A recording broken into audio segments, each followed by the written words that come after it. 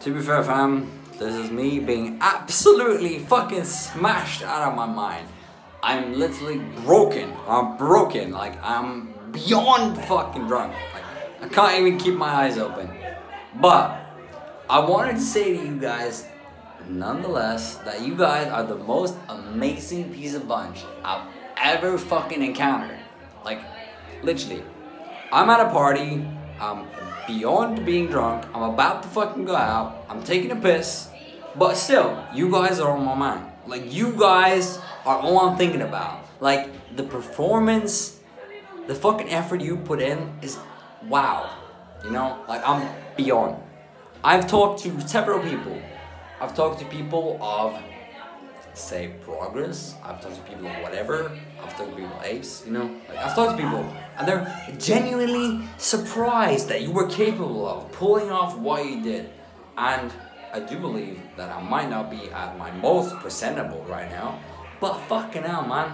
Like, I got long blonde hair, I got bling in my eye.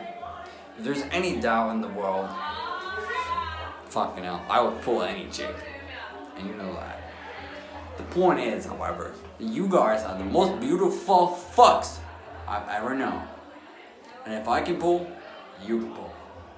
And if we're number one, you're number one.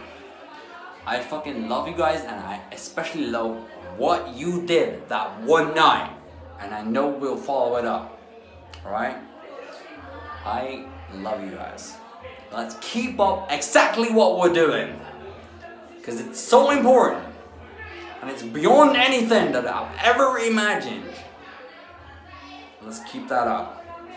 Yeah? You guys are my brothers, and I know, I'm confident that we will keep on doing what we're doing. Northdale is our server, is a returned server, and I know that this is us.